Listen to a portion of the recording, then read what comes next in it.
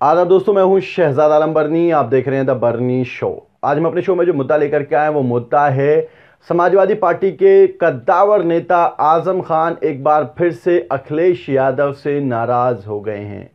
खबरें आ रही हैं कि अखिलेश यादव ने फिर से आज़म खान की एक रिक्वेस्ट को ठुकरा दिया है, जिसके चलते आज़म खान में और समाजवादी पार्टी के नेता अखिलेश यादव में फिर से दरार होती दिखाई दे रही है।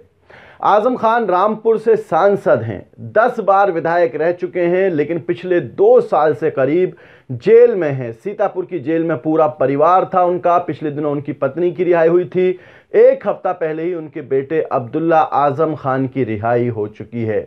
विधानसभा के चुनाव का ऐलान हुआ तो सवाल उठने लगे कि इस बार आज़म खान की भूमिका क्या रहेगी उत्तर प्रदेश के विधानसभा चुनावों में? क्या आज़म खान चुनाव लड़ पाएँगे? क्या आज़म खान के जो सहयोगी हैं जो आज़म खान का बुरे वक्त में साथ देते हैं कि आज़म खान उनको चुनाव लड़ा पाएँगे। हर साल जब भी टिकटों का बंटवारा होता था तो आज़म खान की उसमें अहम भूमिका होती थी। और आज़म खान की गुड बुक्स वाले सभी लोगों को टिकट दिए जाते थे, लेकिन इस बार ऐसा नहीं हो रहा है, जिसके चलते दरार हो गई है। हालाँकि समाजवादी पार्टी ने ऐलान कर दिया है कि जेल में रहते हुए ही आज़म खान रामपुर से विधानसभा का चुनाव लड़ेंगे। यानी पहले से वो सांसद हैं, अब विधायकी का चुनाव भी लड़ेंगे, बाद में उन्हें सांसदी त्यागनी पड़ेगी। उनके बेटे को स्वार टांडा से भी टिकट दिया गया है। रामपुर की एक और विधानसभा है, जहाँ से वो पहले विधायक थे, अब्दुल्ला आज़म को भी टिकट दे दिया गया है। लेकिन तब तनातनी हुई जब आज़म खान ने अपने सहयोगी 12 लोगों की एक लिस्ट अखिलेश यादव को पहुंचाई। वो 12 लोग जिन्होंने पिछले दो साल में जब आज़म खान जेल में रहे तो आज़म खान की हर कदम पर मदद की है। जो आज़म खान की गुड बुक्स के लोग हैं 12 लोगों की एक लिस्ट आज़म खान ने अखिलेश यादव को पहुंचवाई थी, जिसके टिकट देने की बात कही गई थी, लेकिन अखिलेश यादव ने उन 12 टिकटों को देने से मना कर दिया है। सवाल यह उठता है कि 403 विधानसभाएँ उत्तर प्रदेश में से, अगर उसमें से 12 टिकट आज़म खान की मर्ज़ी से हो भी जाएँगी तो भी तीन सीट बच जाती हैं अखिलेश यादव को अपनी मर्ज़ी से बांटने के लिए।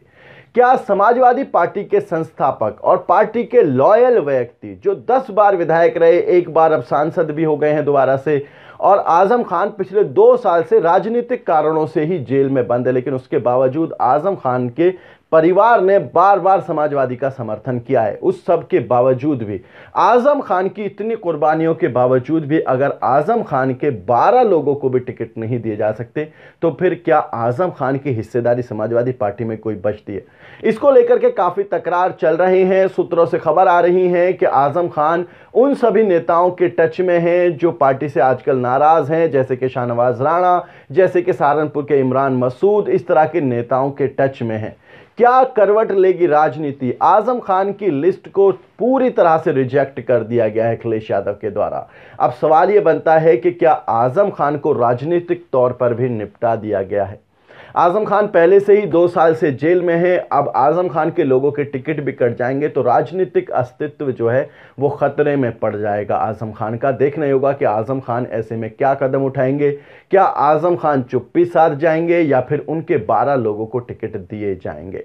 आप इस पूरे मामले को किस तरह से देखते हैं, अपनी राय ज़रूर बताएँ। वीडियो के नीचे कमेंट बॉक्स है, उस कमेंट बॉक्स में जाएँ, जाकर के अपनी राय हमें ज़रूर बताएँ।